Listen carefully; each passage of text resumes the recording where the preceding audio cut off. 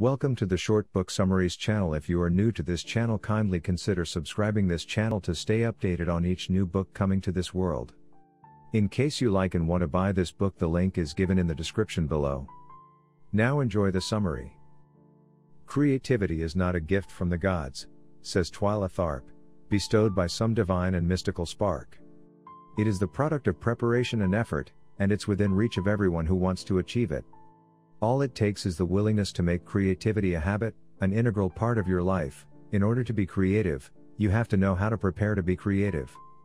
In the creative habit, Tharp takes the lessons she has learned in her remarkable 35 year career and shares them with you.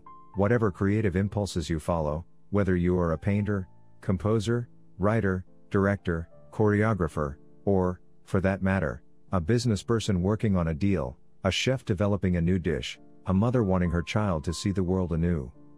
When Tharp is at a creative dead end, she relies on a lifetime of exercises to help her get out of the rut, and the creative habit contains more than 30 of them to ease the fears of anyone facing a blank beginning and to open the mind to new possibilities. Tharp's exercises are practical and immediately doable, for the novice or expert. In Where's Your Pencil? She reminds us to observe the world, and get it down on paper. In Coins and Chaos, she provides the simplest of mental games to restore order and peace. In Do a Verb, she turns your mind and body into coworkers. In Build a Bridge to the Next Day, she shows how to clean your cluttered mind overnight. To Tharp, sustained creativity begins with rituals, self knowledge, harnessing your memories, and organizing your materials, so no insight is ever lost. Along the way, she leads you by the hand through the painful first steps of scratching for ideas, finding the spine of your work, and getting out of ruts into productive grooves. In her creative realm, optimism rules.